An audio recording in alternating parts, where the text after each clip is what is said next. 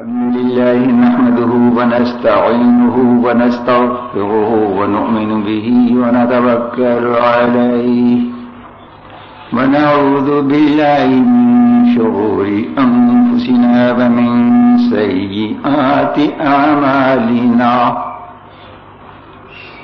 من يهده الله فلا مضل له ومن يضلل فلا هادي له. ونشهد أن لا إله إلا الله وحده لا شريك له. ونشهد أن محمدا عبده ورسوله. صلى الله تعالى عليه وعلى آله وصحبه أجمعين. أما بعد فأعوذ بالله من الشيطان الرجيم. بسم الله الرحمن الرحيم. يا أيها النبي إنا أرسلناك شاهدا ومبشرا ونذيرا. مداعيا إلى الله بإذنه وسراجا منيرا. مبشر المؤمنين بأن لهم من الله فضلا كبيرا. فلا تطع الكافرين والمنافقين ودع أذاهم وتوكل على الله. وكفى بالله وكيلا. إنا أرسلناك شاهدا ومبشرا ونذيرا لتؤمنوا بالله ورسوله وتعزروه وتوقروه وتسبحوه بكرة وأصيلا إن الذين يبايعونك إنما يبايعون الله. يد الله فوق أيديهم. فمن نكف فإنما ينكث على نفسه. ومن أوفى بما عاهد عليه الله فسيؤتيه أجرا عظيما. بعد میں بات ذہن سے نکل نہ جائے ابھی یہ دعا کر لیں کہ یہ آیات جو پڑھی ہیں، ان میں سے سب سے آخری آیت کا سب سے آخری جملہ ومن اوفا بما عاهد عليه الله فسيؤتيه اجرا عظيما۔ اللہ تعالی ہم سب کو بلکہ دنیا بھر کے تمام مسلمانوں کو اس کا مصداق بنا لیں۔ بیان سے پہلے ایک ضروری مسئلہ سن لیں۔ شب برات کے موقع پر کئی دن پہلے ہی یہ جو پٹاخے شروع کر دیتے ہیں، پٹاخے بجانا۔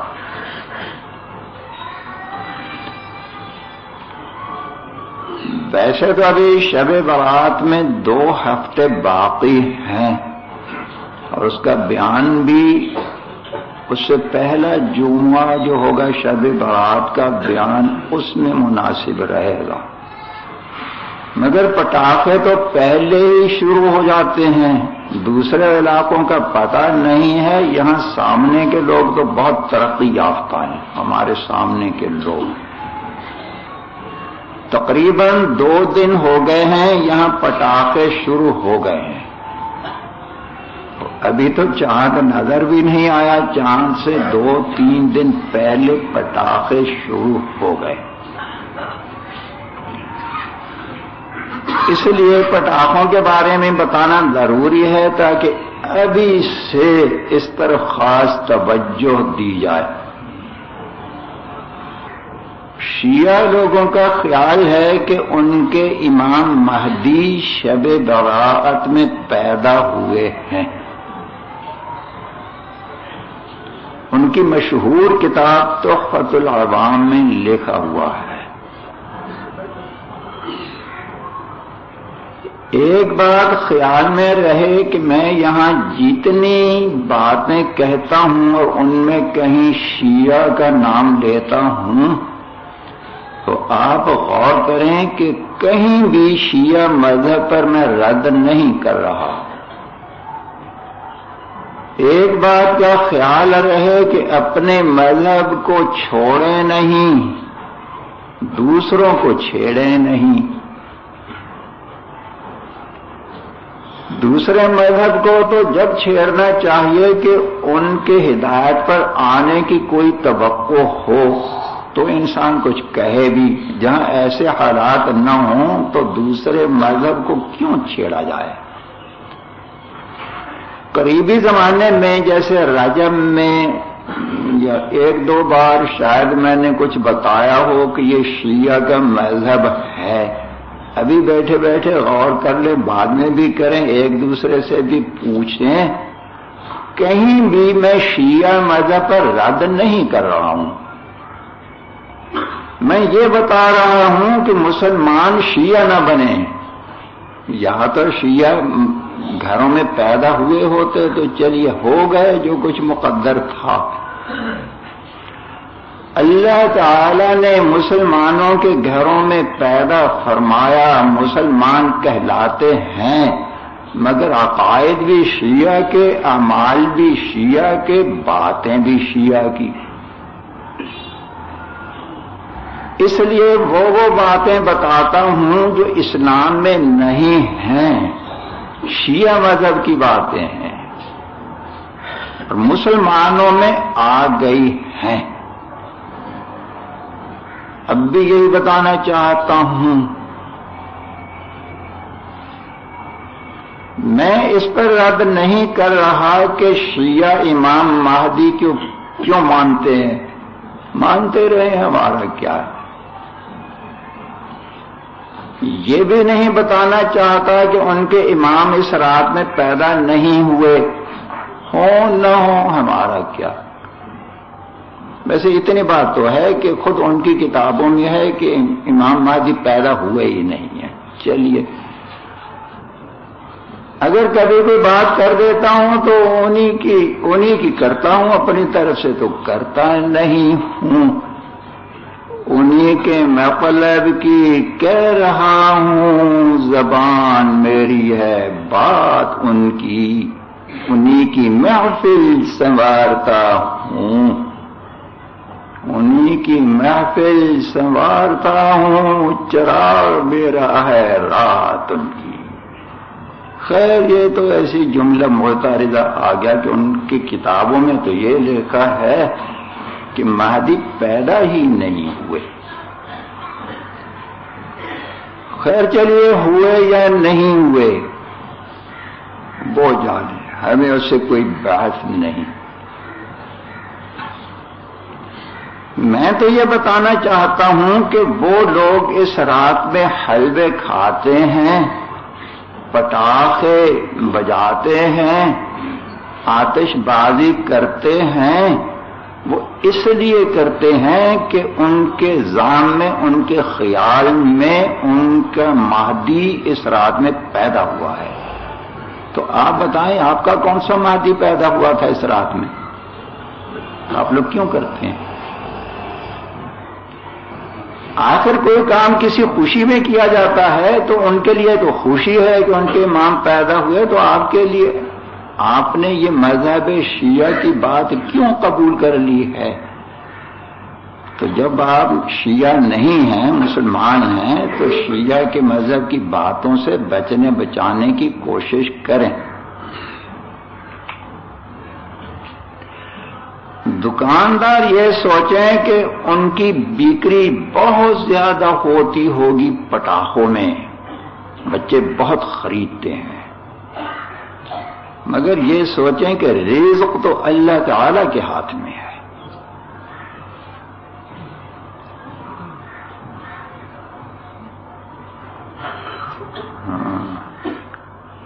حضور اکرم صلی اللہ علیہ وسلم نے فرمایا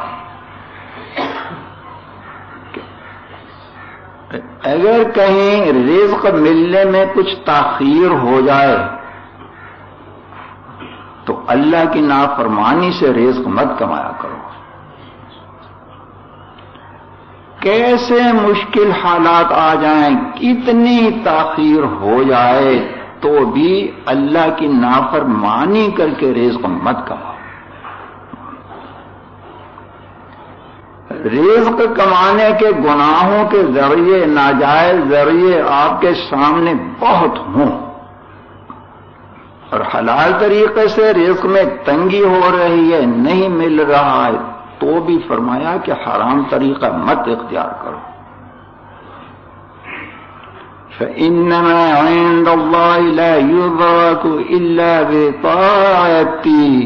کیونکہ اللہ کے پاس جو چیز ہے، وہ اللہ کی نافرمانی کر کے حاصل نہیں ہو سکتی۔ وہ تو اللہ کی اطاعت ہی سے ملے گی۔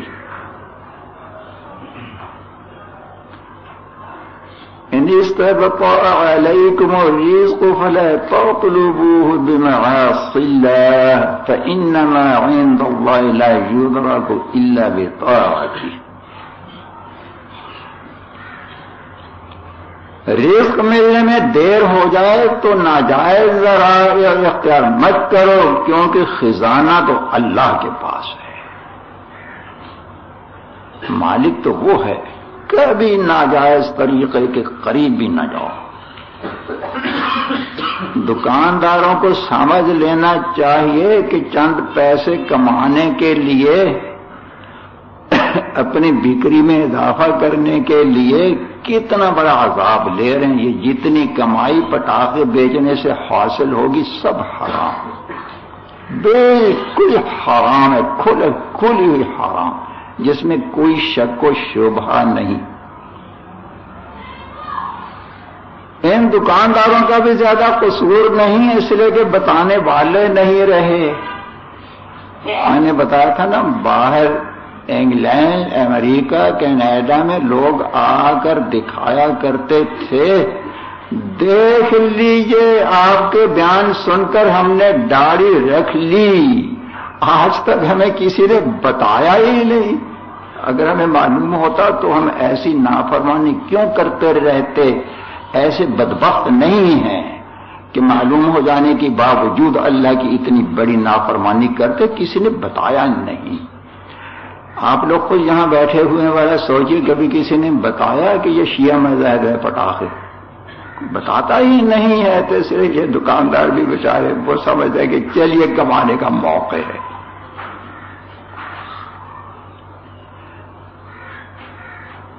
دوسری بات یہ کہ والدین بھی بہت احتیاط کریں اس زمانے میں بچوں کو پٹاخوں کے لیے پیسے ہرگز نہ دیں۔ ان کو سمجھائیں، محبت سے سمجھائیں، بچوں کو صحیح تعلیم اور ان کی صحیح تربیت نہیں ہو رہی ہے۔ ان کو سمجھاتے نہیں ہیں۔ سمجھائیں کہ بیٹا یہ گناہ ہے، یہ تو شیعہ مذہب ہے، وہ تو خوشی مناتے ہیں اپنے امام کی پیدائش میں۔ مسلمانوں کو ایسے نہیں کرنا چاہیے، مسلمان کو شیعہ والا کام نہیں کرنا چاہیے۔ سمجھائیں بچوں کو۔ پیسے نہ دیں۔ غالباً گزشتہ سال کا قصہ ہے، میں نے یہ کہا تھا کہ اپنے اپنے علاقے کے لوگوں کو سمجھائیں کہ اس موقع پر پٹاخوں کے لیے بچوں کو پیسے نہ دیں۔ اپنے اپنے محلے کے دکانداروں کو سمجھائیں کہ یہ حرام آمدنی اس میں شامل کر کے اپنی حلال آمدن میں حرام شامل کر کے سارا کچھ برباد نہ کریں۔ یا غسل کلو میرا قیبات وعمل الصالح رسولوں کا حکم ہوتا ہے کہ حلال کھاؤ اور اچھے اعمال کرو. پیٹ میں اگر حلال نہیں ہوتا، حرام ہوتا ہے، تو اس سے اچھے عمل نہیں ہو پاتے۔ وہ برے کام ہی کرے گا۔ میں نے یہ بتایا تھا کہ اپنے اپنے علاقے میں، اپنے اپنے محلے میں جا کر دکانداروں کو سمجھائیں۔ اور ابھی ایک دو دن پہلے اس لیے بتا دیا تاکہ وہ دکاندار پٹاخے خرید کر کے لائیں نہیں۔ بہت سے تو لے آئے ہوں گے اور کئی ایسے ہوں گے کہ ابھی نہیں لائے ہوں گے۔ اس لیے پہلے بیان کرنے اس مسئلے کا ضروری ہے۔ گزشتہ سال جیسے میں نے بتایا تو ایک صاحب نے اپنے حالات میں لکھ کر دیا یا فون پر بتایا کہ میں نے یہاں سے اٹھنے کے بعد پچاس گھروں میں جا کر یاد ایسے پڑتا ہے۔ بھائی اگر وہ سن رہے ہوں تو تازہ کروا دیں۔ ایک سال کی بات ہے، غالباً یہ بتایا کہ پچاس دکانوں پر یا پچاس گھروں میں جا جا کر یہ بات پہنچائی کہ یہ شیعہ مذہب کی بات ہے، ایسے نہ کریں۔ ایک ایک آدمی اگر پچاس پچاس دکانوں پر کہے گا تو آپ ماشاء اللہ کتنے ہیں۔ ان سے سبقت کریں۔ سبقت انہوں نے پچاس کو پہنچایا تو آپ سو کو پہنچانے کی کوشش کریں۔ اللہ تعالی ہمت عطا فرمائے اور اس عمل کو سادہ کا جاریہ بنائے۔ دوسری بات یہ کہ مجھے اس کا شوق کبھی نہیں ہوا کہ میرا بیان سننے کو لوگ زیادہ آئیں۔ کبھی مجھ سے کسی نے سنا بھی نہ ہوگا، نہ کسی بڑی مجلس میں، نہ کسی چھوٹی مجلس میں نہ کسی فرد سے کہ میں نے کبھی کہا ہو کہ لوگوں کو کھینچ کھینچ کر لایا کرو۔ لوگوں سے کہا کرو یا آنے کے لیے کبھی بھی عام مجلس میں تو کیا خاص مجلس میں نہیں کہا، کبھی ایک فرد کو بھی کبھی نہیں کہا۔ اس لیے کہ مقصد یہ نہیں ہے کہ میرے پاس مجمان لگے۔ مقصد تو یہ ہے کہ لوگوں کو ہدایت ہو۔ جہاں جہاں بھی کسی کو سہولت ہو، اچھی مجلس، اچھی باتیں، اچھی صحبت جہاں ملے، اس کو جہاں سہولت ہو، جہاں مناسبت ہو، وہاں جایا کریں۔ مقصد تو ہدایت ہے کہ ہدایت مل جائے۔ مگر بعض باتیں ایسی ہیں جن کے بارے میں میرا خیال ہے کہ وہ یہاں کے سوا اور کہیں بتائی نہیں جاتی۔ ہیں اب یہی پٹاخے والا مسئلہ سن لیجیے۔ رجب والا، ربیع الاول والا، اب آئے گا شب برات والا اور زکوٰۃ کے مسائل۔ اللہ کرے کہ ہر دینی مجلس میں ان مسائل کا تذکرہ ہونے لگے۔ مگر جہاں تک مجھے معلوم ہے، دوسری جگہوں پر یہ چیزیں نہیں بتائی جاتی۔ اور مجھے یہ دقت پیش آ رہی ہے کہ موقع پر جو جمعہ ہوتا ہے اس میں میں بیان کر دیتا ہوں۔ اور اگلے روز ہفتے کے دن، اتوار کے دن فون پر کوئی پوچھنا شروع کر دیتے ہیں۔ مثلا یہی ہے راجہ والی بات ہے تو وہ پوچھنا شروع کر دیا۔ اس ہفتے میں کئی لوگوں نے پوچھا۔ اس میں روزہ ہے یا نہیں اور یہ شب معراج ہے یا نہیں؟ شب معراج پوچھنے والے تو بہت کم ہیں ایسے کہ ہر ایک کے دل میں یہ بات گھسی ہوئی ہے کہ یہی ہے۔ تو کچھ روزے کا پوچھتے ہیں، کچھ اور عبادت کا پوچھتے ہیں۔ ٹیلی فون پر وقت ہوتا ہے صرف تین منٹ۔ پھر بھی لوگوں کو باری نہیں آتی۔ تین منٹ میں ٹائمر بچ جاتا ہے، اس کا وقت ختم ہو جاتا ہے تاکہ دوسرے کا نقصان نہ ہو۔ میں ان سے یہ کہتا ہوں کہ بھائی، تین منٹ میں میں کیا سمجھاؤں؟ ایک تو یہ کہ تین منٹ میں کیسے تفصیل سمجھا دوں؟ بات ہوتی ہے تفصیل سے کہنے کی مختصر بات تو سمجھ میں آئے گی نہیں۔ دوسرے یہ کہ یہ تین منٹ ہی اگر میں نے آپ کو دے دیے تو یہ اگر آپ نے بیان سن لیا ہوتا، یہ تین منٹ آپ کی بجائے اللہ کا کوئی اور بندہ لیتا کوئی ضروری مسئلہ پوچھتا، تو آپ لوگ جو پوچھ رہے ہیں، اس میں دوسروں کا نقصان کر رہے ہیں۔ اگر اس مجلس میں آ گئے ہوتے تو پوچھنے کی ضرورت پیش نہ آتی۔ بتایا کرتا ہوں کہ بیان ہو گیا ہے، اس پر کیسے لے لیں؟ مختصر بات نہیں ہو سکے گی، سمجھ میں نہیں آئے گی۔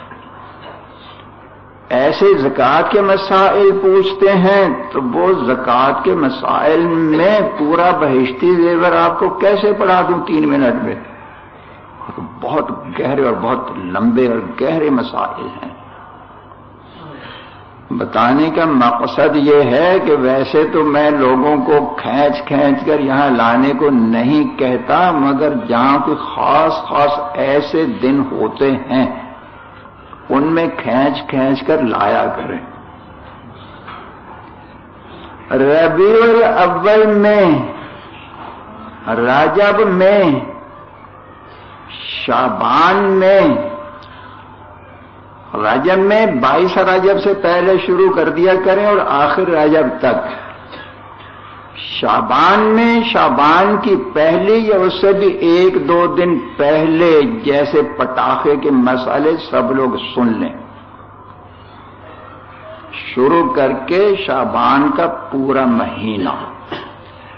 اس میں لوگوں کو لایا کریں۔ اس میں ان کا بھی فائدہ ہے کہ بات تفصیل سے، دلائل سے ذہن نشین ہو سکے گی۔ میرا فائدہ ہے کہ وقت بجے گا۔ دراصل یہ میرا کیا فائدہ ہے؟ یہ دوسرے مسلمان بھائیوں کا فائدہ ہے۔ مجھے تو وقت لگانا ہی ہے۔ وہی وہی مسئلے پوچھتے رہیں گے فون پر۔ جو عام بیان میں ہوتے ہیں تو دوسرے لوگوں کے اپنے اپنے جو نجی مسائل ہیں، وہ رہ جائیں گے، ان کا نقصان ہوگا۔ اب شابان کے مہینے میں یہ پٹاخے ہو گئے، شب برات کا بیان بھی ہوگا اور زکوٰۃ بھی لوگ، بہت سے لوگ تو رجب سے شروع کر دیتے ہیں، رمضان میں تو تقریباً سارے رمضان میں زکوٰۃ نکالتے ہیں۔ زکوٰۃ کے مسائل کی بہت تفصیل ہے۔ اور کچھ رمضان کی تمہید بھی اس کا موقع بھی یہی ہے شابان شابان میں نہیں ہوگا، رمضان میں تو بیان کی چھٹی رہتی ہے۔ پھر اکثر یوں ہوتا ہے کہ پہلے بیان نہیں ہو سکا، رمضان گزر جاتا ہے، بیان بعد بھی ہوتا رہتا ہے۔ اکثر ایسے ہو جاتا ہے، حالانکہ وہ بیان تو پہلے کرنا چاہیے رمضان کے بارے میں۔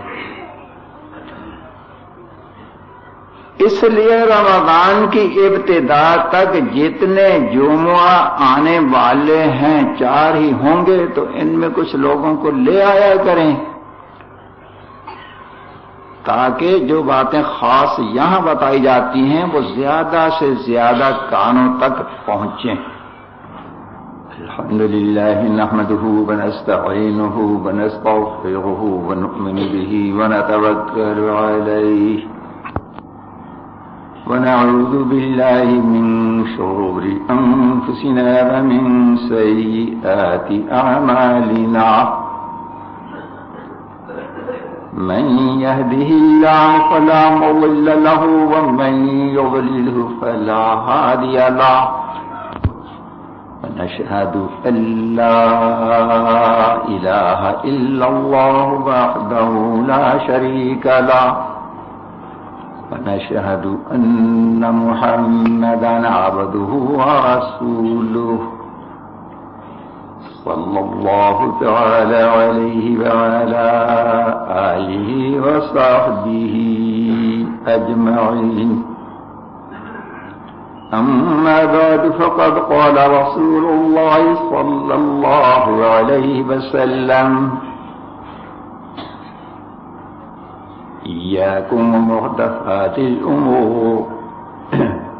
فإن كل محدثة بدعة وكل بدعة ضلالة وكل ضلالة في النار.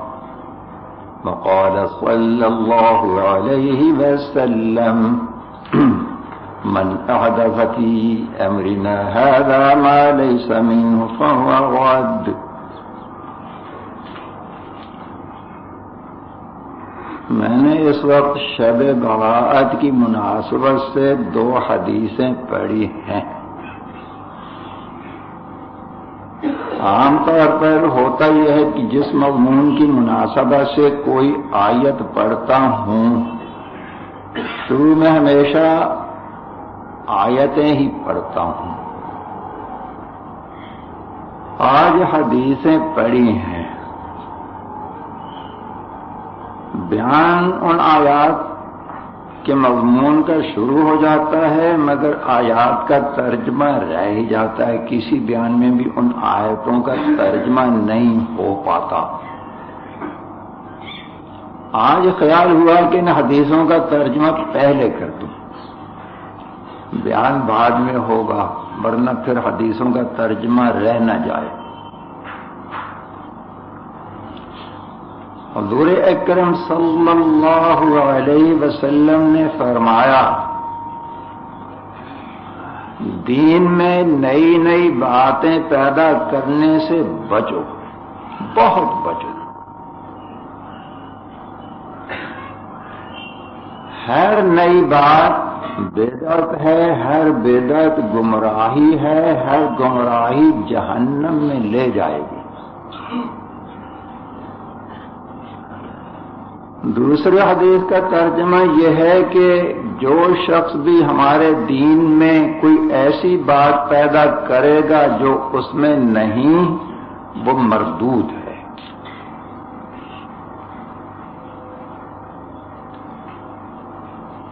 بیدات کی قواہد پر کبھی کبھی مفصل بیان ہوتا رہتا ہے کہ بیدات میں کتنی بڑی قباحت ہے۔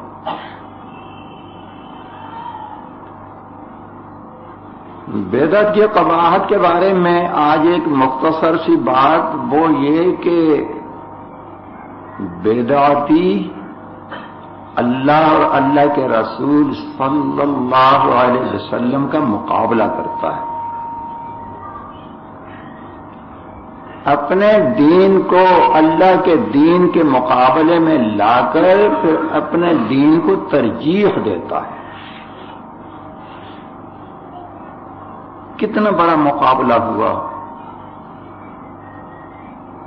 دوسرے لفظوں میں یوں کہہ لیں کہ جو مسئلہ اللہ تعالی نے نہیں نازل فرمایا، جبریل علیہ السلام اس کو لے کر حضور اکرم صلی اللہ علیہ وسلم تک نہیں پہنچے۔ حضور اکرم صلی اللہ علیہ وسلم نے امت تک نہیں پہنچایا۔ تو یہ جو گھر بیٹھے ایسے مسالے بنا لیتے ہیں تو ذرا ایک ایک مرحلے پر تھوڑا تھوڑا سوچتے جائیں۔ مختصر مختصر بات بتاؤں گا تاکہ یاد رکھنا، سوچنا آسان ہو جائے۔ یہاں پہ ان لوگوں کا مطلب یہ ہے کہ اللہ تعالیٰ کو معاذ اللہ اس مسئلے کا علم نہیں تھا۔ بیداتی اپنے علم کو اللہ تعالی کے علم سے بلند سمجھتا ہے۔ اللہ کو معلوم نہیں تھا، اس کو پتا چل گیا۔ یا بیداتی کا خیال یہ ہے کہ جبریل علیہ السلام اس کو لے کر آئے تھے راستے میں خیانت کی۔ چھپا لیا، آگے پہنچایا نہیں حضور اکرم صلی اللہ علیہ وسلم تک۔ یا بیداتی کا خیال یہ ہے کہ جبریل علیہ السلام لا تو رہے تھے، درمیان میں شیطان نے حملہ کر دیا۔ شیطان نے پہنچانے نہیں دیا، درمیان میں حملہ کر کے وہ شیطان لے گیا، پھر اس شیطان نے آج کے بیداتی پر اس کی وائی کر دی۔ وہاں سے زبردستی چھین کر لے گیا۔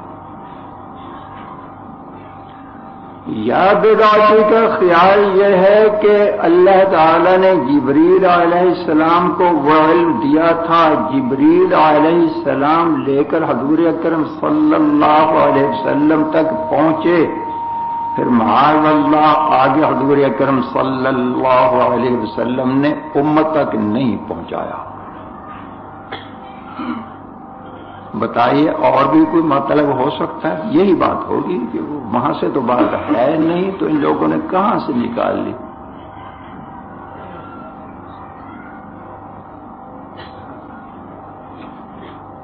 جبریل علیہ السلام کے بارے میں اللہ تعالیٰ فرماتے ہیں دو قوت عند ذی العرش مکین ثم امین۔ وہ بڑی قوت والے ہیں، بڑی قوت والے۔ کوئی شیطان ان سے چھین نہیں سکتا۔ اور امین بھی ہیں۔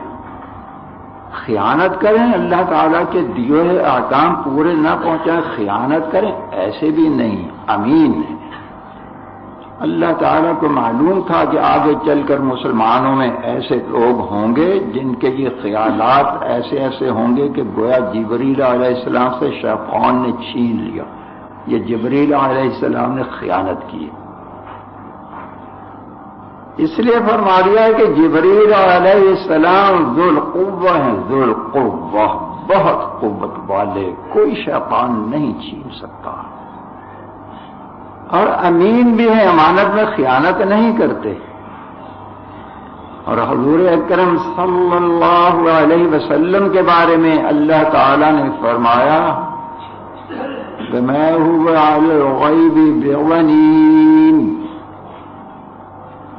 ہم نے جو آپ صلی اللہ علیہ وسلم کو وحی کی باتیں اپنے پاس سے دی ہیں تو آپ اس پر بخیل نہیں ہیں۔ آگے امت کو نہ پہنچائیں، اپنی پاس رہنے دیں، بخل کریں، بخیل نہیں ہیں۔ اور جب اللہ تعالی کی طرف سے صاف صاف ایک قسم کی وعید بھی ہے فیصدہ بھی تو علم تفعل میں بلغت رسالتا ہے ہم جو حکم بھی دیتے ہیں آگے پہنچائیں پہنچائیں پہنچائیں۔ اگر کوئی ایک حکم ایسے رہ گیا جو آپ نے آگے نہیں پہنچایا تو آپ نے اپنی رسالت کی ذمہ داری ادا نہیں کی۔ رسالت نہیں پہنچائی۔ مجرم ٹھہریں گے اگر ایسے کریں گے تو۔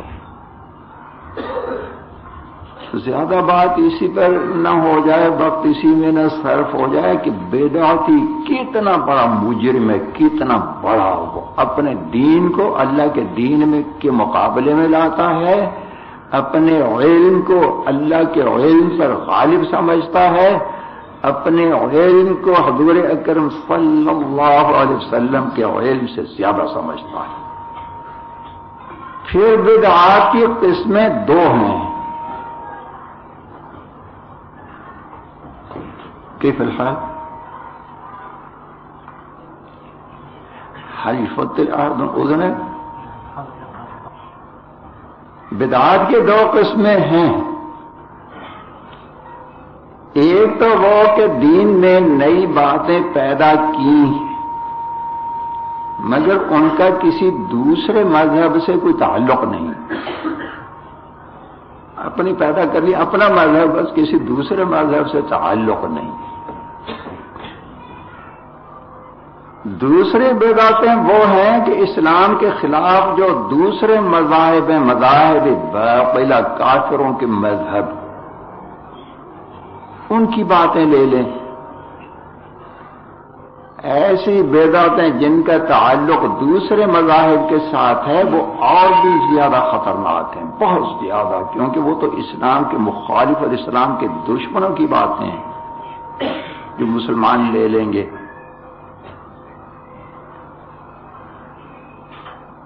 اب سنیے شب بغاعت کی بیدارتیں۔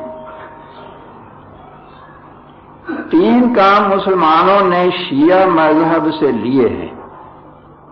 شب براعت میں۔ پہلے بھی تھوڑا سا بتایا تھا کہ ان کی زیادہ سے زیادہ تبلیغ کریں۔ شیعہ مذہب کے مطابق ان کی کتابوں میں سراحتاً لکھا ہوا ہے، کتاب کا حوالہ کسی کو یاد ہے؟ نہیں ہے۔ ٹھیک ہے، مجھے کبھی کبھی ایسے گمان ہوتا ہے کہ میں بولتا رہتا ہوں، یہ لوگ بلا دیتے اس لیے پوچھتا ہوں۔ یاد ہے ماشا اللہ۔ کبھی لے کر چاہیں تو دیکھ بھی لیں۔ شیعہ مذہب کی بہت مشہور کتاب ہے تحفت العوام، بہت مشہور کتاب ہے، بازار میں عام ملتی ہے۔ اس میں لکھا ہوا ہے کہ اس رات میں ان کے امام مہدی پیدا ہوئے ہیں، شیعہ کے مہدی، وہ اس رات میں پیدا ہوئے ہیں۔ اس لیے وہ اس رات کو مبارک سمجھ کر اس میں تین کام کرتے ہیں۔ دو کام تو خوشی منانے کے امام پیدا ہوا، تیسرا کام اپنی حاجات امام سے مانگنے کا کام کرتے ہیں۔ خوشی کے کام تو یہ کرتے ہیں کہ حلوے پکاتے، کھاتے، کھلاتے ہیں۔ امام کی ولادت کی خوشی میں۔ اور پٹاخے چھوڑتے ہیں، یہ خوشیاں مناتے ہیں۔ دو کام تو خوشی کے۔ مسلمانوں نے بھی شروع کر دیے، دیکھا دیکھی، یہ کچھ پتہ نہیں ہے کہ یہ کہاں سے آئی حلوے کھانے کی باتیں اور پٹاخے چھوڑنے کی باتیں کہاں سے آئی ہیں۔ شیعہ مذہب جو ہے وہ مسلمانوں کے دلوں میں اتنا گھسا ہوا، اتنا جیسے میں نے پہلے کہا تھا، آج کے مسلمان کا دل ننانوے فیصد شیعہ، ننانوے فیصد کہا تھا یا نو ہزار نو سو ننانوے؟ ایسے نو ہزار نو سو ننانوے۔ آج کے مسلمان کا دل شیعہ ہے۔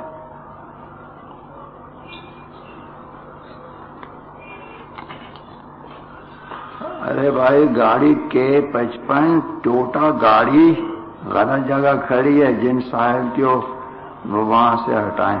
پچپن کے آگے کیا ہے بس؟ صفر صفر۔ ٹوٹا صفر صفر پچپن۔ گاڑی غلط جگہ پر نہ لگایا کریں صحیح جگہ لگا کریں جن صاحب کو ہٹا لیں۔ میں تکون سائقون صحیح ہے۔ اذا خالفت سائقین جميعا. اب ادھر کو چلے گیا تو سارا وقت تو آپ لوگوں کی گاڑی خراب کر دے گی. عجیب عجیب حرکتیں کرتے پھر. کہنا تو پڑتا ہے. آپ کامل ڈرائیور کب بنیں گے؟ پکے ڈرائیور. اس پر میں نے یہ شعر کہا ہے. پکے ڈرائیور. کسی ڈرائیور کو دیکھتے جائیں، جیسے جیسے وہ کرے، آپ اس کا الٹ کرتے جائیں۔ بس آپ پکے ڈرائیور بن گئے۔ آج کا ڈرائیور ہر کام الٹا کرتا ہے۔ ڈرائیور میں ایک ایک چیز الٹی کرتا ہے۔ تو آپ کسی بھی ڈرائیور کو دیکھتے جائیں، یہ کیا کرتا ہے؟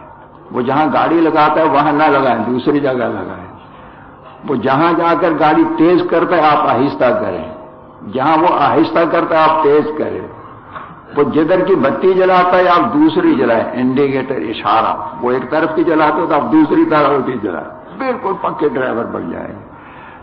اس کی تفصیل پھر کبھی غالباً یومیہ مجلس میں بیان کی تھی یا جمعے کے دن بیان کی تھی کبھی؟ یومیہ میں۔ روزانہ کی مجلس میں ایک بار اس کی تفصیل بیان کی تھی۔ ڈرائیور لوگ یا ڈرائیور بننا چاہتے ہوں یا جنہوں نے گاڑیاں پالی ہیں، وہ کیسٹ لے کر سنیں۔ ضرور سنیں۔ یہ گاڑیاں رکھ تو لیتے ہیں مگر چلانا آتی نہیں ہے سیکھے یہاں سے گاڑی چلانا، کیسٹ لیں اور اس کے مطابق گاڑی کو رکھا کریں۔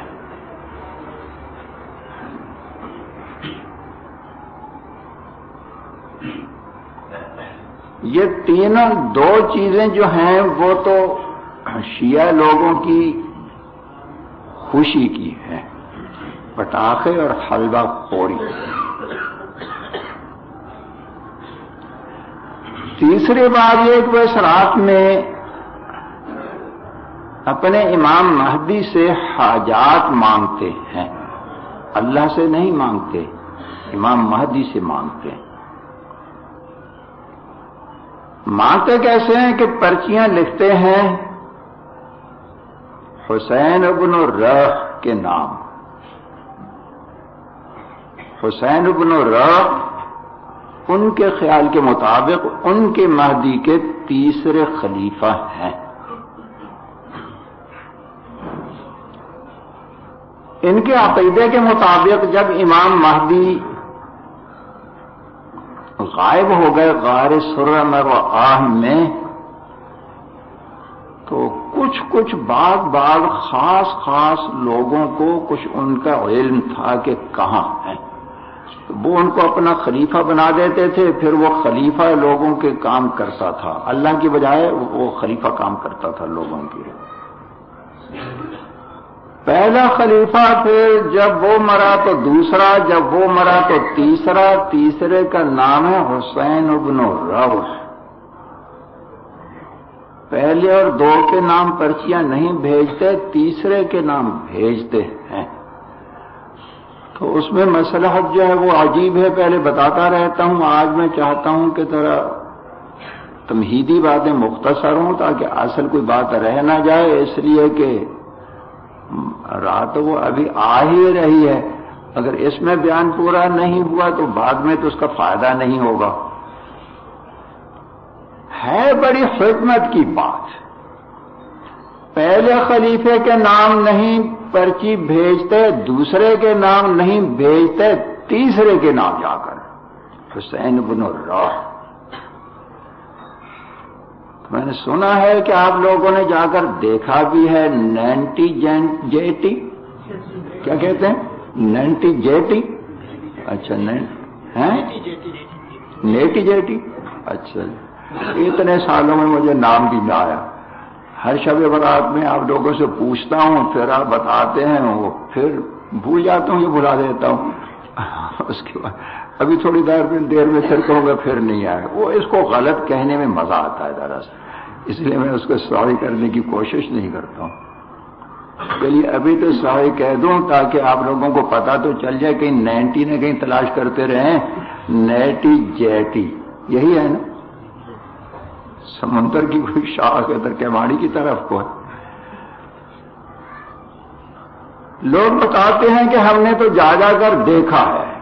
مردوں کا، عورتوں کا بہت ہجوم ہوتا، بہت ہجوم۔ اور وہیں سے دفتر کھلا ہوا ہے جبریل کا۔ تو وہ ان کو پرچے بھی وہیں سے دیتے ہیں۔ وہاں سے پرچے لیتے ہیں اور پہلے سے چھپے ہوئے ہوتے ہیں۔ یا حسین ابن راہ، ہماری حاجت جو ہے وہ امام مصرف العمور امام مہدی جو مصرف العمور ہے، سارا کچھ کرنا، ورنہ اللہ تو فارغ بیٹھا ہوا ہے۔ تو سارا کچھ اس کے ہاتھ میں ہے۔ تو امام تک ہماری بات یہ پہنچا دے، حسین ابن روح کو کہتے ہیں۔ بس سمندر میں ڈال دیتے ہیں، کہتے ہیں وہ سمندر کے اندر کہیں ہے، تو وہ وہاں سے غار سورم اور میں پہنچا دے گا۔ بہت پرچیاں ڈالتے ہیں۔ یہ تو بات ہوگی ان کی حاجات طلب کرنے کی۔ میرے خیال میں کوئی مسلمان شاید ایسے تو نہیں کرتا ہوگا اور کچھ بعید بھی نہیں کہ کر لیتے ہو کہ چلیے ایسے ہی حاجت پوری ہو جائے۔ خوشی کے دو کام خوشی منانے کے، حلوے پکانے، کھانے کے اور پٹاخے بجانے کے، یہ کام تو مسلمان بہت کرتے ہیں، بہت کرتے ہیں۔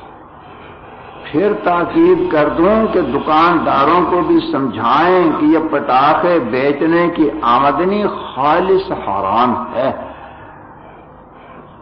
یہ حرام ملا کر اپنی ساری دوسری جو حلال آمدن ہے اس پر بھی کیوں ببال لا رہے ہیں؟ کیوں اللہ کے عذاب کو دعوت دے رہے ہیں؟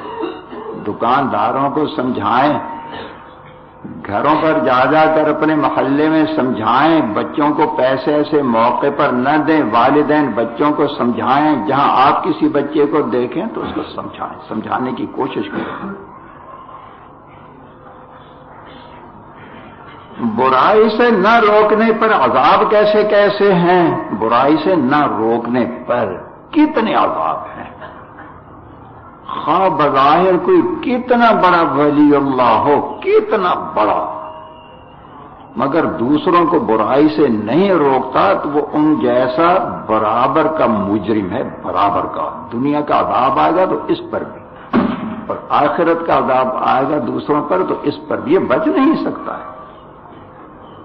اگر آج ہی کچھ وقت بچ گیا تو اس پر انشاء اللہ تعالی آج ہی کچھ بتاؤں گا کہ برائیوں سے نہ روکنے پر کتنا بڑا عذاب ہے دنیا میں بھی آخرت میں بھی۔ اس لیے ابھی تو مختصر سمجھ لیں کہ روکنے کی کوشش کریں۔ جس حد تک ہو سکے روکنے کی کوشش کریں سمجھائیں لوگوں کو۔ ہم معلوم ہے کہ چراغاں بھی کرتے ہیں مسلمان بھی کرتے ہیں۔ اچھا۔ اچھا چلیے، یہ تو اس میں کتاب میں بھی بات نہیں آئی۔ وہ کتاب کا حوالہ نہ بھول جاؤں، ایک کتاب ہے سات مسائل۔ اس میں شب معراج بھی اور شب برات بھی اور کنڈے بھی اور اس قسم کی چیزیں سات مسئلے ہیں جن کی تفصیل بیان کی گئی ہے۔ وہ کتاب گھر سے لے لیں۔ اللہ تعالی ہدایت مقدر فرمائیں اپنی رحمت سے۔ ان باتوں کا تو تعلق ہوا شیعہ مذہب سے۔ رہی یہ بات کہ شب برات کی حقیقت اسلام میں کیا ہے اور اس میں لوگ کیا کیا غلط کام کرتے ہیں اور کیا صحیح کام ہو سکتے ہیں۔ نمبر ایک، اس رات کو جو لوگ کہتے ہیں شب بواعت اس رات کا یہ نام کسی حدیث میں، نہ قوی میں، نہ ضعیف میں، نہ موضوع میں کہیں بھی اس رات کا یہ نام نہیں آتا۔ حدیثوں کی تین قسمیں ہوتی ہیں، ایک تو قوی حدیث مضبوط، دوسری حدیث ضعیف ہوتی ہے یعنی اس کے راوی کچھ ایسے مضبوط نہیں ہیں، کوئی پکے نہیں، ان پر کچھ زیادہ اعتبار نہیں ہے۔ ہو سکتا ہے کہ جھوٹی بولتے ہو تو ایسی حدیثوں کو ضعیف حدیثیں کہا جاتا ہے۔ تیسری قسم ہے جن کو موضوع کہتے ہیں۔ موضوع کا مطلب یہ ہے کہ یقین ہو جائے کہ کسی جھوٹے شخص نے یہ جھوٹی حدیث گھڑی ہے، خود اس کو موضوع کہتے ہیں۔ اس رات کا نام شب بواعت۔ کسی قوی حدیث میں تو کیا ضعیف حدیث میں تو کیا کسی جھوٹی گھڑی حدیث میں بھی نہیں کہیں نہیں۔ یہ نام کہیں ہے ہی نہیں۔ روایات میں، حدیثوں میں اس رات کا ذکر جہاں کہیں بھی آتا ہے، وہ منتصف شابان سے آتا ہے۔ نصف شابان کی رات۔ آدھے شابان کی رات ایسے ہے روایات میں۔ کہیں شب بواعت کا لفظ نہیں ہے۔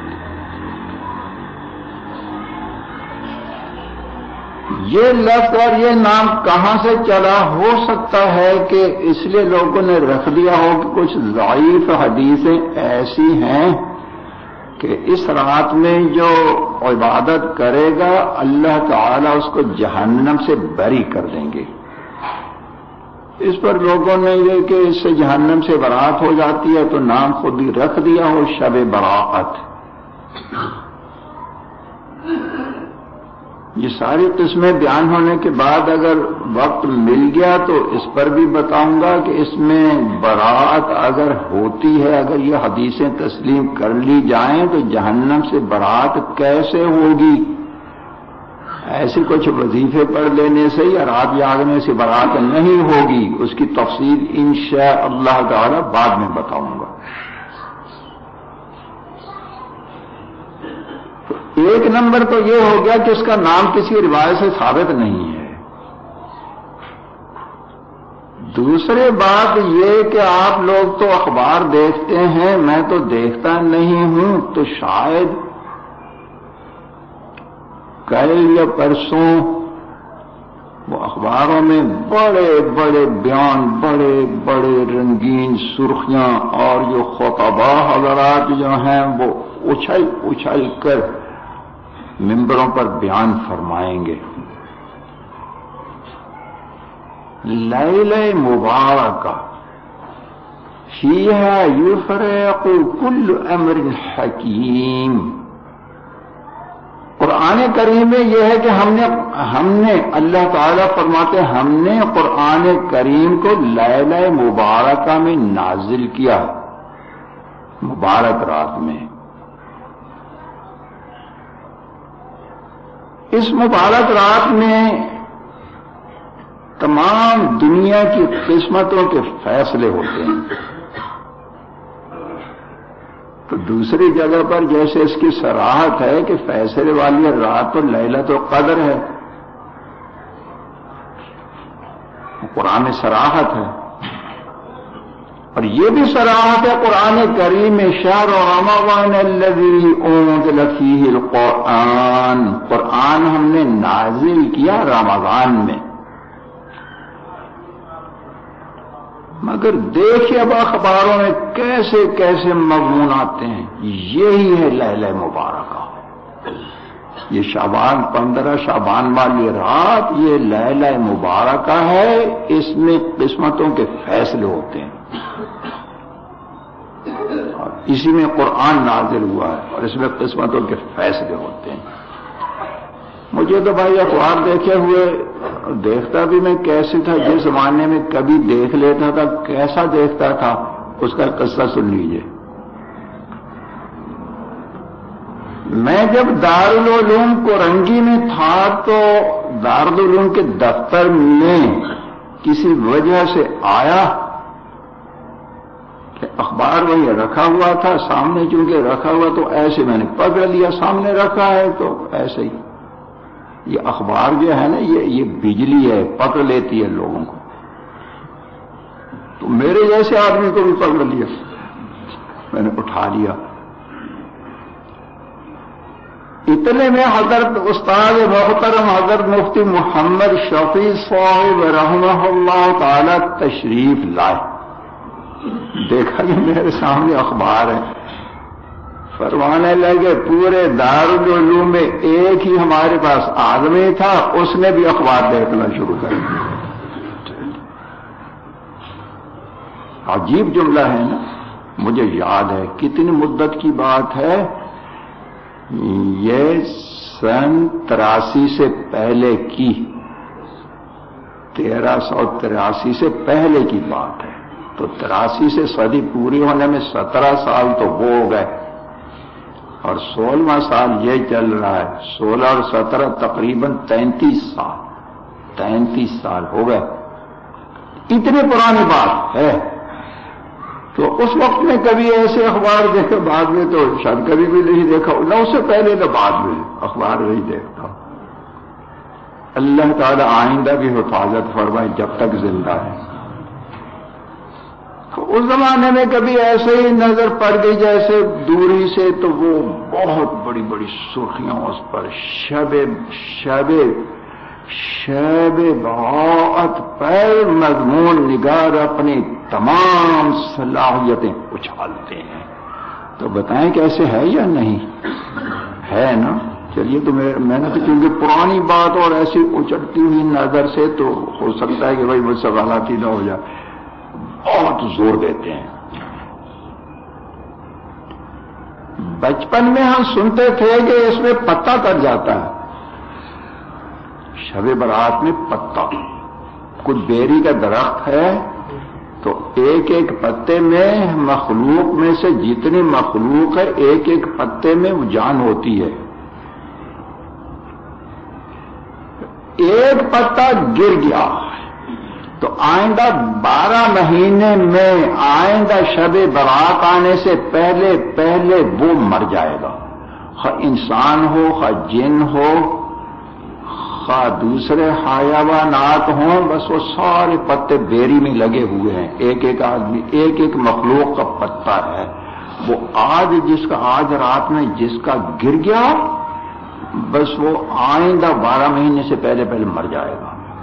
بچپن میں ہم یہ بات سنتے تھے تو پھر خوب حلوے کھاتے لوگ۔ حلوہ کھانے سے جب وہ پتا نہیں گرے گا۔ حلوے پکاتے، کھاتے اور پتا گر جائے گا، کہیں پتا نہ گر جائے، خوب حلوے کھاؤ۔ یہ بچپن میں ہم نے لوگوں کی جہالت اور یہ بےدت خود دیکھی اپنی آنکھوں سے اور یہ خود اپنے کانوں سے بات سنی ہے۔ بہت بچپن میں، اب تک یاد ہے۔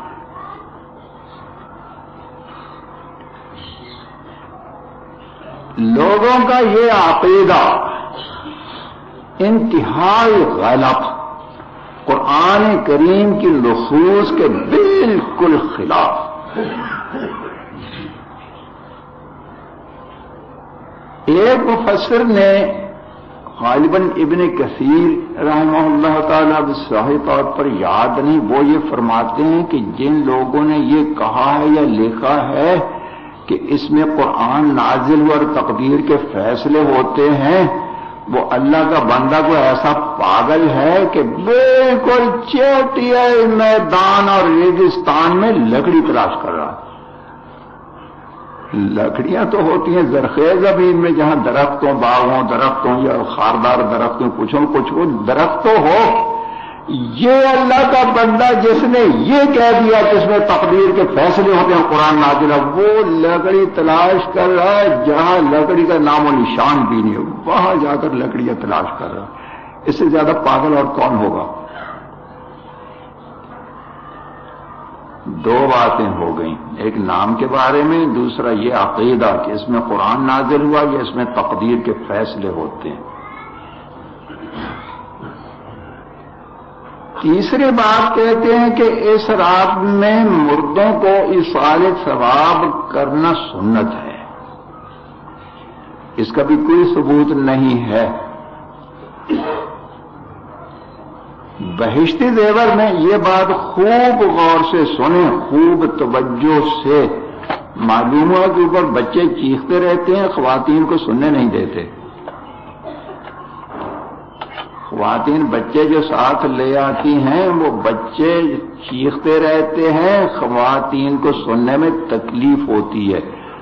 تھوڑی دیر کے لیے بچوں کو خاموش کرائیں۔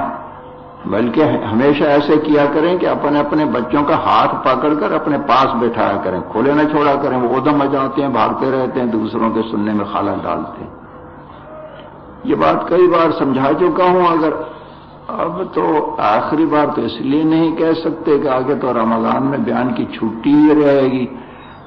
چلیے، تین یہ اس جمعے کو شامل کر کے آئندہ دو جمعے، تین جمعے تو یہ ہے نا، تو اس میں تجربہ کرتے ہیں۔ میں حالات معلوم کروں گا کہ بچے شور مچا رہے ہیں یا شور مچانا ختم کر دیا۔ اگر ویسی شور مچاتے رہے، سننے والی خواتین کی استفادہ میں مخل ہوتے رہے، تو رمضان کے بعد پابندی لگا دیں گے کہ بچوں والی خواتین آئیں ہی نہیں۔ وہ گھر بیٹھی کیسے دے کر کے سن لیا کریں یہ شکایت ہمیشہ آتی رہتی ہے کہ بچے سننے نہیں دیتے، سننے نہیں دیتے۔ وہ غور سے سنیں۔ بہشتی زیور میں اور اصلاح رسوم میں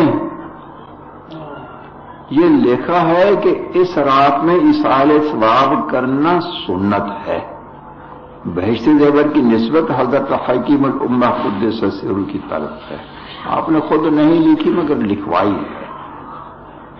یہ کتاب آپ نے لکھوائی ہے۔ تنبیہ کرنے کے باوجود کئی لوگ بار بار یہی کہتے دیکھیے وہ تو بہشتی نظر میں تو لکھا ہوا ہے کہ سنت ہے۔ اصلاح رسوم میں لکھا ہوا ہے کہ سنت ہے۔ اصلاح رسوم تو زیادہ لوگ نہیں جانتے، بہشتی جی زیر کا حوالہ زیادہ۔ بہشتی جی زیر میں لکھا ہے کہ سنت۔ اس لیے تاکید سے کہتا ہوں، خوب متوجہ ہو کر سنیں۔ حضرت حکیم الامہ قدس سر کے فتوا کا مجموعہ، اس کا نام ہے امداد الفتاوا چھ جلدوں میں۔ اس میں حضرت حکیم الامہ قدس سرو نے صاف صاف اعلان فرما دیا ہے کہ میں نے جو سنت پہلے کہا تھا اور لکھوایا تھا کتابوں میں یا لکھا تھا، خاص طور پر اصلاح و رسوم کا تو نام بھی ہے۔ اس میں جو لکھا ہوا ہے کہ یہ سنت ہے، میں اس سے رجوع کرتا ہوں۔ یہ بات ثابت ہو گئی کہ اس حال سواب شراب میں سنت نہیں ہے۔ تو رجوع کا اعلان کر دیا۔ ساتھ ساتھ یہ تنبیہ فرمائی کہ آئندہ کوئی بھی میری اس کتاب کو چھاپے تو اس پر یہ لکھے میری طرف سے کہ میں نے اسے رجوع کر لیا معلوم نہیں کہ کتابیں چھاپنے والے ویسے چھاپتے چلے جا رہے ہیں یا رجوع کر لکھتے ہیں یا نہیں لکھتے ہیں۔ بہرحال امداد الفتاوا کتاب کا نام یاد رکھیں۔ امداد الفتاوا نے اعلان فرما دیا کہ میں نے پہلے اس کو سنت لکھا تھا اس سے رجوع کرتا ہوں۔ مگر یہ کہاں چھوڑیں جب اس صاحب کرتے ہیں تو پھر وہ ٹونٹ بھی بڑھتی ہے نا، خود کھاتے ہیں بہت زیادہ۔ نام تو سارے سواب کا ہوتا ہے، کھاتے خود ہی ہے۔ کتنے مزے۔ کئی بار خیال کیا ہے کہ وہ شعر سنانا چھوڑ دوں، مگر مزہ ہی نہیں آتا بیان میں۔ سنا دوں؟ بفر گئے ہو بازاروں کی بوٹیاں کھا کر۔ ارے نہیں، غلطی ہو گئی۔ بفر گئے ہو جنازوں کی بوٹیاں کھا کر۔ تمہاری تونت کمر سے ملا کے چھوڑوں گا۔ تمہاری تونت تونت جو بڑھ گئی نا کھاتے کھاتے بفر گئے ہو جنازوں کی بوٹیاں کھا کر۔ تمہاری تونت کمر سے ملا کے چھوڑوں گا۔ شاباش جس نے یہ شعر کہا، یا اللہ تو اس کے دراجات بلند اور بال بال بہت فرق کیا عجیب کہہ گیا کیا عجیب۔ نام نہیں بتاؤں گا کس نے کہا۔ اور توڑ کی بات آ گئی تو پھر ادھر وہ قصہ بھی سارا ہے کہ یہ جو اسال ثواب کرنے کے جو طریقے تو الگ بات رہی کہ اس رات میں اسال ثواب نہیں ہے۔ اس رات کی خصوصیت کے سوائے یعنی اس کو چھوڑ کر ویسے جو اسال ثواب کرتے ہیں، اس میں کتنی بے جاتے ہیں؟ سراسر اول سے آخر تک شریعت کے خلاف۔ جو طریق اسال ثواب کے اللہ کے رسول صلی اللہ علیہ وسلم نے اللہ تعالی کی طرف سے بتائے، جو طریق صحابہ کرام رضی اللہ تعالی عنہ نے کیے، جو تابعین آئم دین رحم اللہ تعالی نے کیے، آج کے مسلمان کو وہ پسند نہیں ہے۔ یہ اپنے کرے گا۔ تو ادھر کو بات چلی گئی تو پھر لمبی ہو جائے گی۔ ابھی تو شب برات کا بیان ہو رہا ہے۔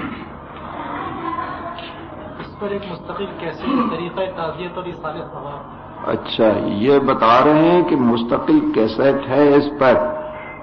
کیا؟ طریقہ تعزیت و اصال ثواب۔ تعزیت کیسے کی جائے؟ کسی کے انتقال پر جا کر وہاں تعزیت کرنا اس کا کیا طریقہ ہے؟ سنت کے مطابق اس سال ثواب کا کیا طریقہ ہے؟ بتا رہے ہیں کہ اس پر مستقل بھی کیسٹ ہو چکی ہے۔ ایسی کیسٹوں کو زیادہ زیادہ پھیلائیں، لوگوں تک پہنچائیں، بدعات کو دنیا سے ختم کرنے کی پوری کوشش کریں۔ اللہ تعالی ہمت اور توفیق عطا کتنی باتیں ہو گئیں؟ شب برات کے بارے میں تین ہو گئی یاد ہے مجھے آپ لوگوں سے پوچھ رہا ہوں ایسا۔ نمبر چار۔ اس رات میں، اس رات میں قبرستان جا کر اموات کے لیے دعا کرنا۔ کل ہی کسی نے کہا، ٹیلی فون پر پوچھا کہ ہمارا مکان ایسی جگہ پر ہے جو لوگ قبرستان جاتے ہیں تو اسی روڈ پر سے جاتے ہیں، ہمارے مکان کے سامنے سے جاتے ہیں۔ وہ کہتے ہیں، اس رات میں تو اتنے لوگ جاتے ہیں، اتنے بہت زیادہ، تو اگر ہم وہاں جہاد کے لیے چندے کا ٹینٹ لگا دیں تو میں نے کہا، ٹھیک ہے، کچھ تو نکالو ان لوگوں سے۔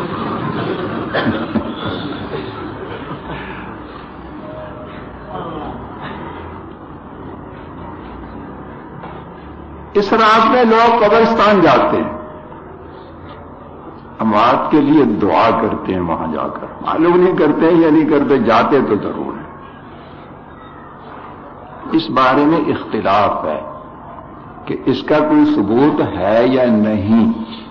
اس اختلاف کی پوری تفصیل یہ بھی امداد الفتاوا میں موجود ہے۔ فقط حکیم العما خد سزور کے امداد الفتاوا میں بہت مدلل تفصیل سے لکھا کہ اس میں اختلاف ہے۔ آخری فیصلہ یہ تحریر فرمایا ہے کہ اگر اس کا فی نفسی ثبوت کچھ ہے بھی، تو زمانے کے فسادات کے لحاظ سے اس کا روکنا ضروری ہے۔ اگر واقعتا کو ثبوت مل بھی جائے کہ اس میں قبرستان جانا اور دعا کرنا اگر تسلیم کرنے کے ہے، تو فسادات کیسے ہیں؟ مرد اور عورتیں بن ٹھن کر عورتیں، وہ بھی مردوں کے ساتھ ایسے لگتا ہے کہ یہ کہیں خانے خاموشی میں نہیں جا رہے، یہ شادی حال میں جا رہے بے پردگی کے ساتھ عورتوں عورتوں مردوں کا اختلاف اور طرح طرح کی بدعات جا کر کے کرنے، اس کے پیش نظر اگر اس کا ثبوت ہو بھی تو تو بھی فرما کہ اس سے روکنا ضروری ہے، ناجائز چار باتیں ہو گئیں۔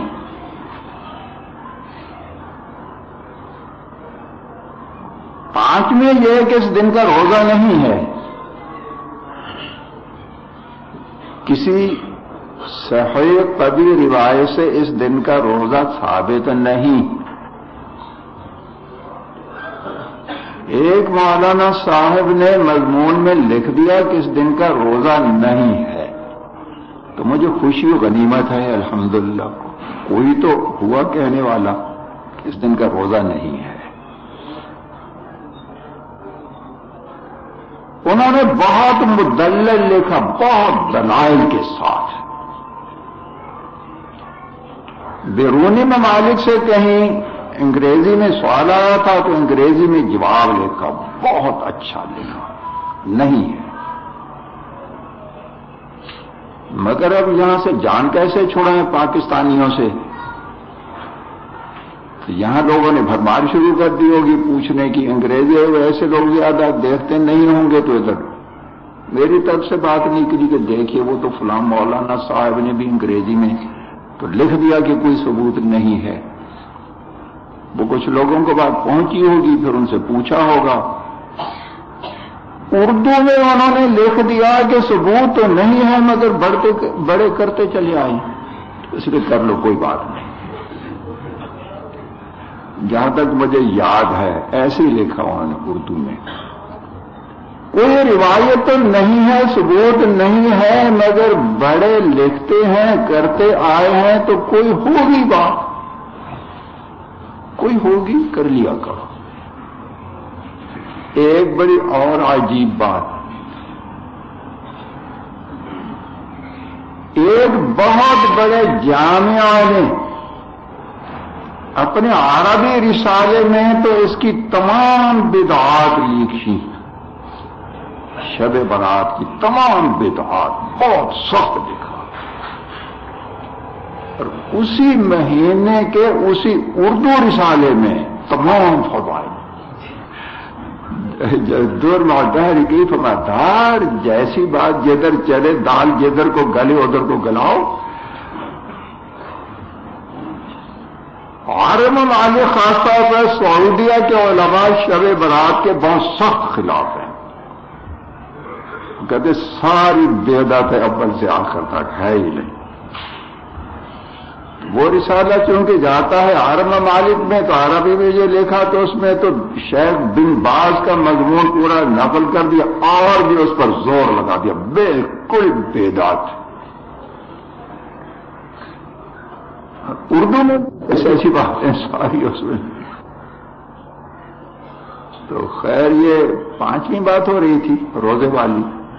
اس دن کا روزہ ثابت نہیں ہے۔ بعض لوگ کہتے ہیں کہ اگر جو ثابت نہیں ہے تو ہم رکھ لیں تو حرج کیا؟ ہے وہ بات پھر وہی بےدت والی ہو جائے گی، حرج کیا؟ ہے تو کیا اللہ تعالیٰ کو معلوم نہیں تھا کہ اس میں روزے کا ثواب ہے؟ ہم نازل کر دیں اپنے حبیب صلی اللہ علیہ وسلم پر۔ کیا حضور اکرم صلی اللہ علیہ وسلم کا علم نہیں ہوا؟ صحابہ کرام رضی اللہ تعالیٰ عنہ کا علم نہیں ہوا، آئندہ دین رحمہ اللہ تعالیٰ کو علم نہیں ہوا، اس کو علم کیسے ہو گیا؟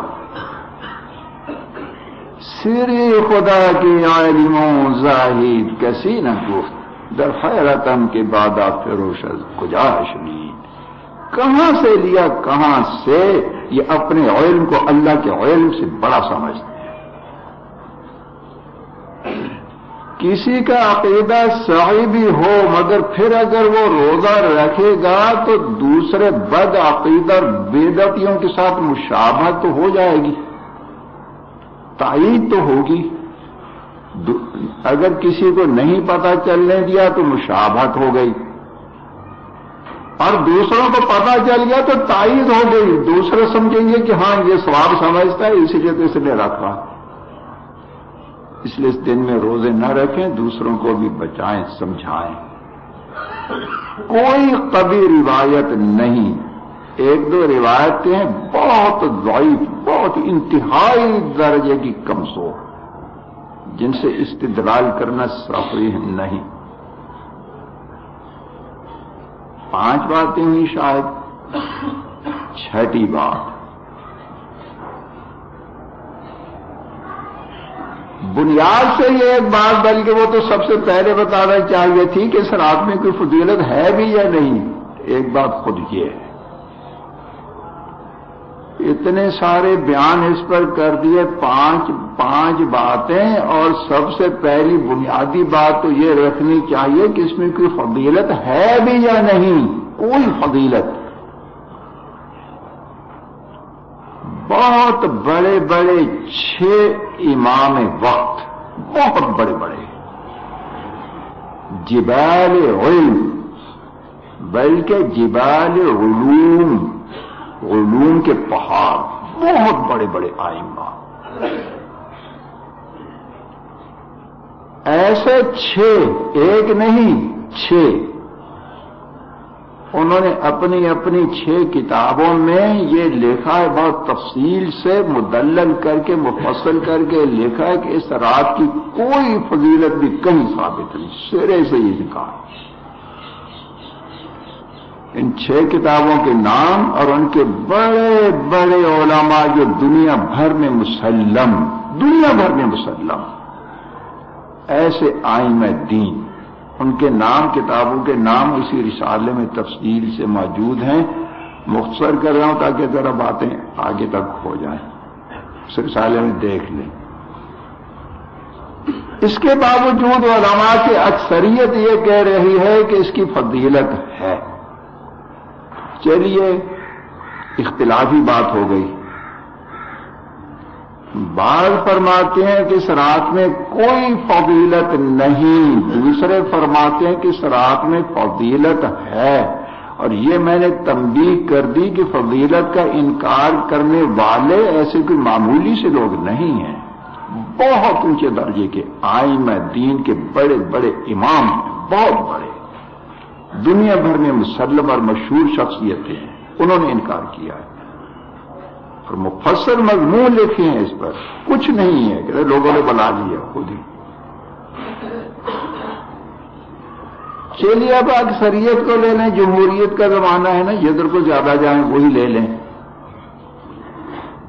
ویسے یہ بات تو ہے کہ آج کل جمہوریت تو گدوں کی ہے۔ گدا جو گدا زیادہ ڈھینچوں ڈھینچوں کرے گا، دلتی لگائے گا، سب اس کے پیچھے۔ جمہوریت گریزر طرز جمہوری غلام پختہ کاری شو کہ در مغرد و صدخر فکری انسانی نمی آیت۔ کسی پختہ کار کے غلام بن جاؤ، کسی ایک پختہ کار کے غلام بن جاؤ۔ جمہوری کی لانت سے دور بھاگو، جمہوریت کی لانت سے دور بھاگو۔ مثال بڑی عجیب دی۔ دو سو گدے مل کر سوچنے بیٹھے، بہت بڑے سیاست دانوں دو سو گدے۔ فلاسفر بڑے سیاست دان سائنسدان بھی ہوں۔ وہ مل کر سوچنے بیٹھے تو ایک انسان کی بات نہیں سوچ سکتے۔ وہ دو سو تو ایسے مصرا میں لانے کے لیے کہہ دیا، دنیا بھر کے گدے۔ ایک انسان کی بات نہیں سوچ سکتے۔ سوچ سکتے ہیں؟ انسان کی بات غلط ہے۔ اور کیا کہا؟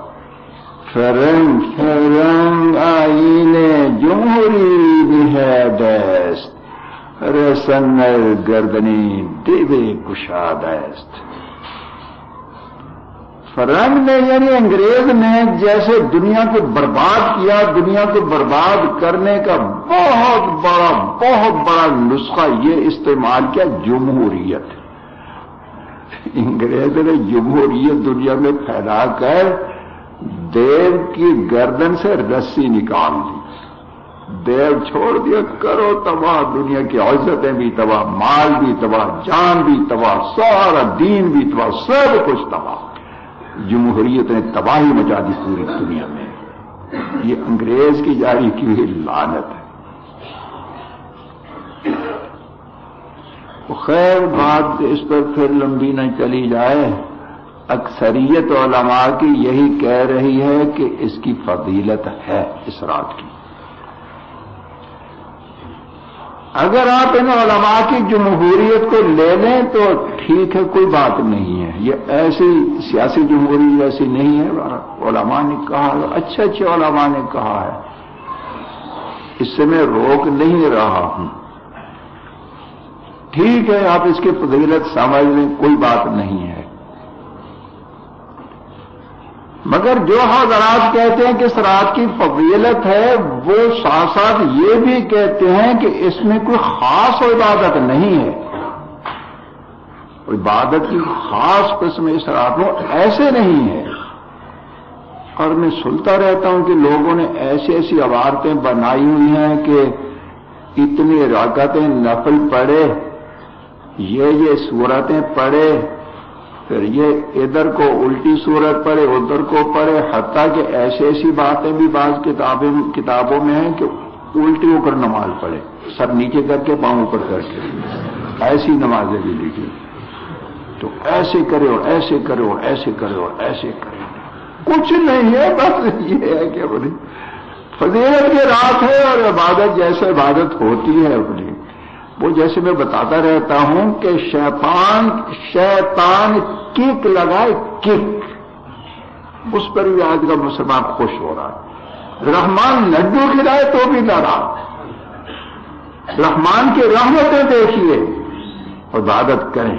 اور عبادت کے رات میں عبادت کریں۔ ارے جو چاہیں کریں۔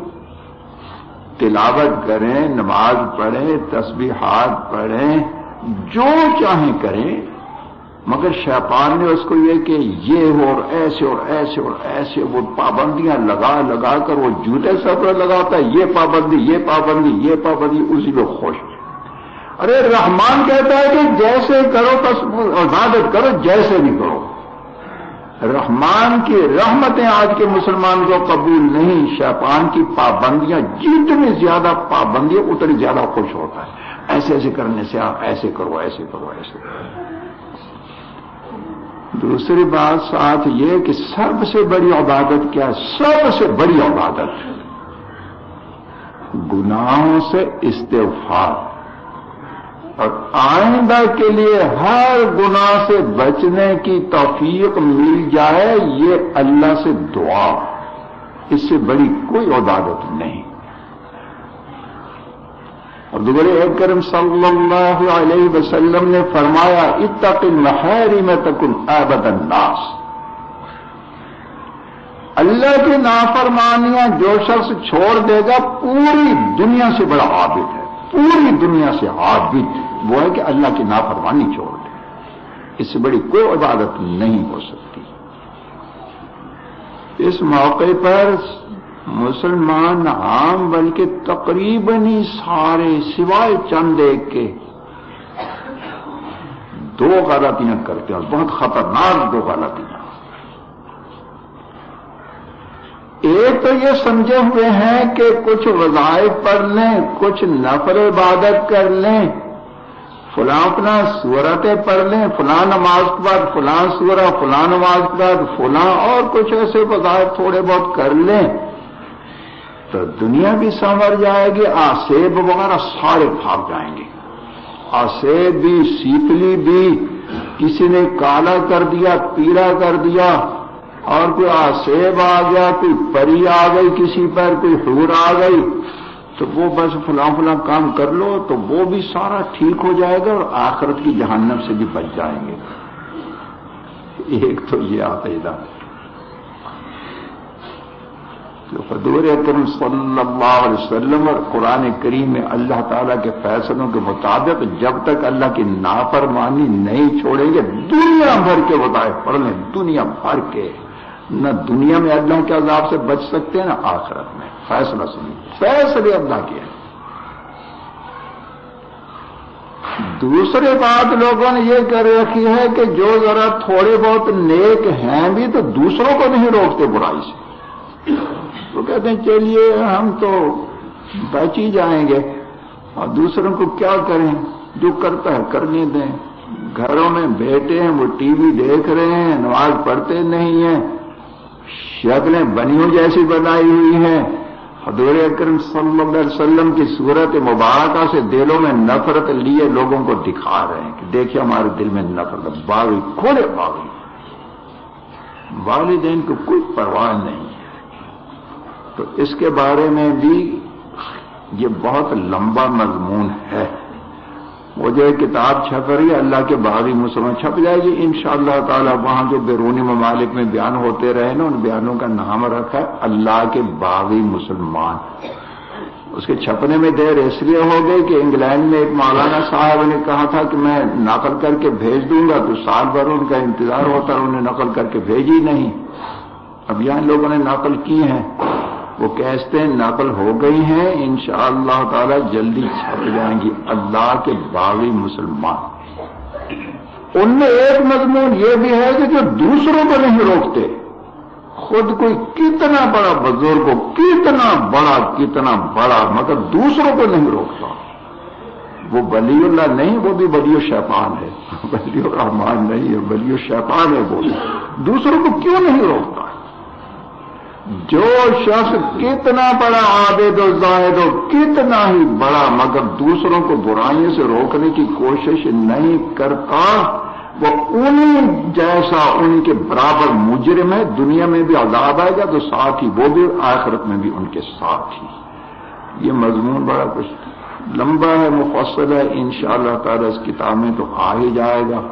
اور آئندہ دو جمعوں میں بیان اس لیے نہیں ہو سکتا کہ ابھی زکوٰۃ کا بیان باقی ہے اور رمضان کے بارے میں بھی جمعے تو رہ گیا دو ہی۔ تو اس لیے آئندہ انشاءاللہ اللہ تعالی انہی دو بیانوں پر کچھ کہیں گے، اللہ تعالیٰ توفیق عطا فرمائے، قبول فرمائے۔ صحیح معنوں میں اپنی مرضی کے مطابق کہلا لے اور سب کو اپنی مرضی کے مطابق منا لے۔ وصل اللهم وبارك وسلم على عبدك ورسولك محمد وعلى آله وصحبه أجمعين.